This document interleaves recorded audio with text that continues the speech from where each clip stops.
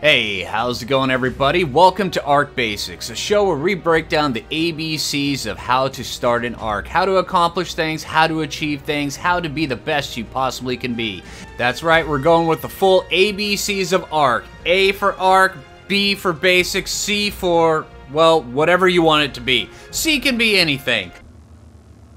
Hey, how's it going everybody? Welcome back to Ark Basics. I'm Phlinger Phoo. I got a fresh cup of coffee right next to me, so hey, let's kick this off. Today we're going to be talking about one of the guys in the earlier game that's going to end up being, they have the potential to be your best friend, if you let them. Um, if you let them into your life, they will be with you for a long time, or at least until you don't need them any longer. But yeah, hey, we're going to be discussing the Iguanodon. Some of these guys that wander around on the beach, every once in a while, I saw one, yeah, he's way over there. Um, we're going to discuss how to uh, tame this guy, some of the best tactics to tame them, uh, kind of what you need, some of the cool things about them, and yeah, just exactly how you want to level them up as you're going out through Ark. All right, so today, let's get over here. Now, the easiest way of taming these guys is uh, via the bola slash trank arrow to the face kind of tactic. I mean, you can use a slingshot kind of method. You could even use... Um, Oh, the wooden club method, but be careful. Um, these guys bite back. So yeah, you want to make sure that, uh, yeah, if whatever you're doing, you're doing it from a safe distance. We'll just hide that poop there, foo. All right? Dude, no, no more of that on camera, right? Not when we're talking about this. All right, so yeah, um, you want to be careful these guys because they will hit you back. They're they're not shy about it either. They're gonna smack you in the face and it's gonna hurt a lot. Okay, so yeah, let's uh, go over here. Now, the easiest way to tame these guys is just with a bola method. So let's get over here. Let's see, what level are you, buddy? Oh, you're 45? Perfect. All right, so bola method, and we're going to use our patented multi-arrow technique. So where we've got two bows, one with trank arrows, one with regular arrows. And we're going to try to go for headshots on this guy. Bam. All right, cool. And he's out. All right, so let's get those back by walking over his face. Oh, there's still one in Thank you! All right, cool. So now the easiest way to tame this guy is you want to just use either vegetables or mejoberries. Now, they do also take Microraptor kibble. Microraptors are something that we haven't got into in the Ark Basics. We will eventually, but unfortunately, I don't have any Microraptor um, kibble readily available. So we're going to do this with probably a little bit of... Uh, Oh, carrots and probably some uh, mejoberries just to see which ones are the most effective on these guys. So let's get over here. Let's grab our crops and grab our mejoberries. All right, and we're back. Now, um, I just want to um, clarify that it's it's always important um, whenever you go out taming something or if you see something out on the uh, on the beach that's like, hey, I could use that in my life. That right there would really help me out. Um, make sure you have a little bit of narcotics or access to some easy narco berries just in case. Because we might not need them, but we we might also need them as well. Because his torpor is kind of going down. All right, but let's take and let's put in one. let's put in those. See how well he goes. Yeah, 5.3. That's not too bad. All right, so we're gonna let him uh, raise up on his uh, um on his corn, and then also we'll throw some berries on him just in case because I don't want to carry all those around. And yeah, yeah, okay, he's not gonna need any narcotics. Uh, but uh, yeah, we're probably going mejoberries, he might need one or two because usually when I start taming um, certain dinosaurs, I'll take a look at their first bite and see exactly how they react to it, and then judge it by how fast their torpor is going down, and then you have to offset that sometimes with narcotics. And that's usually how I do that. I just go for the feel. Yeah, there's some apps and stuff out there that help you do it. I like to do the feel because once you uh, get into this, it, it's, it's so much easier than having to rely on apps and stuff like that. Although there are some pretty cool apps out there. Don't tell me, don't, uh, yeah, let me tell you otherwise. I mean, there's some pretty cool apps out there. All right, so yeah, um, now that um, we're going to get this guy tamed up, now that we're doing this, we're going to look at the saddle. All right. Iguanodon. All right, we've got the Iguanodon saddle. It becomes unlocked at um, level 30. Um, I'm going to go craft this thing up while this guy's taming up, and then we're going to take him out, and we're going to explain some of the stuff that he can do. Now, um, also, another thing I forgot to cover is that while these guys, while this guy right here, he was just wandering around over here, sometimes you do have to go a little bit off the beaten path to find some iguanodons. Like up there in the trees, I know there's probably at least five or six of them up there. And then also up there on top of that mountain, that little hilly top up there, I know there's going to be at least one or two, maybe even three up there. And I just know this because, yeah, experience, you know. Yeah, this led me to know that there, there are iguanodon in them there are hills. Yes, there are. All right, so I'm going to get over here. I'm going to get this saddle crafted up, which is a really easy saddle. Um, it's a lot easier than some. Uh, but yeah, all right. Give me a minute. All right, and this saddle is just crafted straight from inventory. Oh, my Ichthyosaurus was killed by Megalodon. No, dude, that... Well, I didn't really need that guy. Have fun with him. All right, and make sure you chew all the bits. Right, Mr. Megalodon? Okay? But yeah, um, the Iguanodon saddle is just chewed... I mean, it's just... It's just chewed directly from the... Sorry! We didn't need that Ichthyo, um, Ichthyosaurus either. All right. Uh, so yeah, um... The Iguanodon saddle is just crafted directly from your inventory. So yeah, it's not like you have to have a smithy or a fabricator or anything like that. And this guy's still taming up. And we'll bring you guys back as soon as he's done. And then we'll discuss a couple really, really cool things about these guys. Because they are really cool. Especially some of the things they can do. Alright, now as you're uh, taming these guys up, this guy's kind of still going. You want to make sure that you keep an eye out for uh, dillos like over there in the distance and then also you keep an eye out for raptors, stuff like that. Um, it, it can be advisable that if uh, you are in an unsafe location while taming these guys, that you just grab some, uh, you go craft up some quick uh, wooden fence foundations, lay them around this guy in a little box with uh, even thatch walls will do it with maybe a thatched door just where you can get in, you can close it behind you, get inside, feel safe, you know, in your little hidey hole. I mean, you're really not that safe if, a, like, say, a T-Rex comes around. But still, it'll give you that feel of comfort, you know, and it'll avoid, it'll let you know when the raptor's beating down the door. And also, um, you might be able to avoid a little bit of uh, um, aggro if something gets a little bit too close because they can't see you.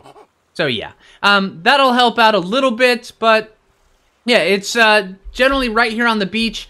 It's pretty safe, so I'm not too worried about it. But yeah, if I was in a more dangerous spot, I would totally be worried about it. Alright, Andy's up, and I'm just not even going to name him anything because, you know, maybe I'll just call him... Yeah, let's uh, change his name, and we'll just call him, uh... Coffee Dude. Which reminds me I need to take another drink of my coffee. Mmm. Alright, so hey, now that we've got this guy up, let's take a quick look at his stats. Now, their stats are not going to be extremely impressive, um, no matter what level you get. Sometimes you can actually, as you get into higher levels, yeah, you can get some really good health stats and stuff like that. Now, this guy right here, he's pretty, he's pretty average for uh, his level. All right, he's got 550 health, uh, 400 stamina, uh, 435 weight. These guys generally have a really good weight stat for how low you can tame them and put a saddle on them. So you want to make sure that uh, um, if you get one that has really low stamina, you might, I'm really low weight, you might have got a not so good one. Go out and tame another one. Compare the difference between the two. All right, now here, let's throw a saddle on this guy. And then let's get up here because there's a couple different uses I want to discuss these guys. Now, um, here, first off, let's go. All right, just the left click attack. He gives you the big thumbs up and he jabs people with these spikes. That is his regular attack. And his right click, it goes into a different mode. And I'll discuss that mode here in just a little bit. And then his C attack gives this kind of like little roar. I don't think there's any use to that C attack other than making it look cool and getting a decent screenshot. All right, so yeah, all right. Now um, let's discover let's discuss the right click um oh ability here for a sec. Now you see that when we're down here like this, he's on all fours, running around like this on the beach. Now if you look up in the top right, as opposed to every other dino in Ark, his stamina stat is not moving. It's not going down, which makes these guys kind of have a superpower for lower level um, adventures wanting to uh, go really fast and cover a lot of ground because these guys can run long distances without having to stop even a single time. It is really cool. Now, unfortunately, they don't have a jump to them, but other than that, I mean, these guys are really awesome if you want to go long distances because he's not draining any stamina whatsoever. Now, when we go into right click, now he goes up like this. Now, this is where he attacks. And you'll notice that if we're down like this and we press uh, um, left click, he'll immediately go up into this stance because he can't attack in his running stance. But um, up like this, he does move a little bit slower, and yes, his stamina is lowering. So that's a kind of a thing you want to keep an eye out. But learning how to toggle between these two, it's really easy, it's really effective, and it'll really help you uh, cover lots of ground. All right, now let's go into a little bit of the builds that you want to do while you're leveling up these guys, depending on how you want to have your um, Iguanodon as you raise it up. Now, let's open up the stats. Okay, wrong button. All right, let's open up the stats. Now, when it comes down to raising these guys up, say if you want like a uh, something to help you fight off some dillos, stuff like that, early game stuff, what you want to be raising up is I'd say probably about half of your points you want to put into health because they need to be able to take a beating. The um, I would say another probably about every fourth one you'd probably want to put into melee damage, while the other um, one compared to that is stamina. So uh, every two out of four points go into health, one out of four points go into stamina, one out of four points go into uh, melee damage. That'll make a nice, effective little tank guy for you. That'll kind of they'll help you out along the way as you're going through the game. All right, let's go into wrong button again. All right, so let's go into the next one. All right, now if you say if you want to get like a big mule, something like that, you want to go mostly weight. I would say every for every five levels, you want at least three levels in weight, so where you can get this weight stat really kicking, and then the other ones in just the health. Because if he's just going to be carrying a bunch of stuff for you, you want to make sure that the stuff that when he dies, you don't have to recover all this stuff because you're not going to be be able to carry all that stuff. If he has his weight stat completely pumped up to say like a thousand, yeah, you're not going to be able to carry all that if he dies, and you're probably not going to be riding him. You're probably going to be riding something else, but you want to make sure he can take a beating. So that's really good for um, a, a pack mule, so where he can, you know, just health and weight. Yeah. All right, but say if you want to go for a long distance runner. Now, this is a one that um, I kind of highly recommend if you want to go for a long distance runner. I would say out of every five levels he gets, four of those go into movement speed, one of those go into health. You want to make sure that you can take the stray swoop from a a T-Rex or something like that while you're running along, but you want to make sure that you can go super, super fast. Now these guys, they kind of level up their uh, movement speed a little bit fast. I mean, he goes up to um, 2% every single um, click we give him. All right, which means that he can get going really, really fast. Yeah, I mean, say if he's level, uh, I mean, if you advance him probably about 50 levels, that means that you can get him up to about 200% movement speed. So he's running twice this speed. Yeah, these guys will go so far across the island for you, so far across Ragnarok for you, they'll be able to take you just about anywhere. Now, another cool um, thing with these guys, they are pretty decent early game berry gatherers. And not just berry gatherers, I mean, while they do get a lot of berries really quick, they're not as good as, say, like a trike or something like that. But they will be able to get you some quite a bit of thatch, quite a bit of berries, all sorts of stuff like that. But Another thing they can do, another really cool thing, is this right here. They can seed the fruit in their inventory. See how this guy, he's got a ton of berries? All right, let's just throw away all these seeds just for demonstration purposes that he's already got in there. Get rid of the wood. Uh, you know what? Let's just get rid of all this stuff. Right there, bam. All right, so we've got all this stuff right there. Let's get rid of the stem berries. Okay, so now we're going to go up here and we're going to seed fruit in inventory. And he'll just do this little, you know, hand pick thing. And then all of these berries, all of these berries that he had in his inventory, and before I had to sneeze, um, all of these berries he just converted into seeds for us. Now, these seeds actually have a really cool use, all right? Now, these things right here, here, let me show you. All right, here, let me run around. Now, I've been purposely, as you've, uh, as we've been recording this video, I've been purposely not eating anything. Yeah, come on, buddy. All right, so now we're to get ourselves really low on food. All right, we've got 1.9. We're completely out of food. So now I'm going to put these down on my hotbar, and I'm just going to press this um, button so where we eat the entire thing of uh, seeds. And then our food is going to go up by one point per seed we eat. So for every stack of seeds you eat, that's 100 food. It is very cool. And also, one of the things with these things is there's no spoil timer on these. Seriously, there's no spoil timer on seeds. All right. And now each of these seeds, each stack only weighs one pound. It's pretty impressive.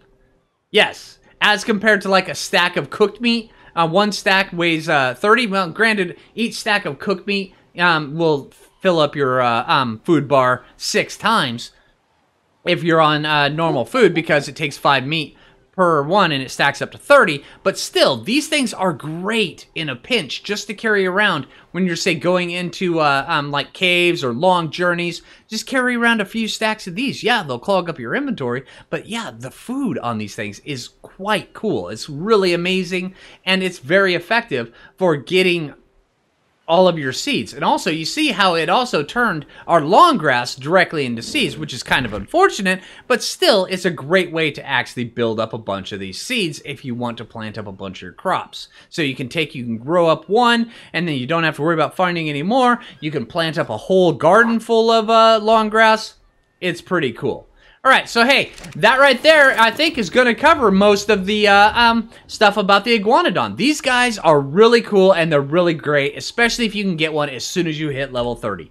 It is really effective, and they will take you just about anywhere you want on the island. I would say they're better than Parasaurs when it comes to the early game for having a nice, fast mount. If you can get one early on, right when you can unlock the saddle, tame it, get the saddle on it, these guys will be great. They'll they will uh, help you uh, grow up. They will grow up along with you, and they'll just be your buddy for a long time until you finally get into uh, um, getting a kibble farm and getting uh, needing their eggs, and then they can go inside there while you move on to better, bigger and better dinos. But then again, a nice, well-leveled iguanodon. Say if you can find a max level 151, tame it up, um, tame it with Microraptor kibble these guys would be a perfect tame one would be really really good. All right so hey i hope the video helped you out. Um, if you liked the video make sure you click that like button. I really appreciate that.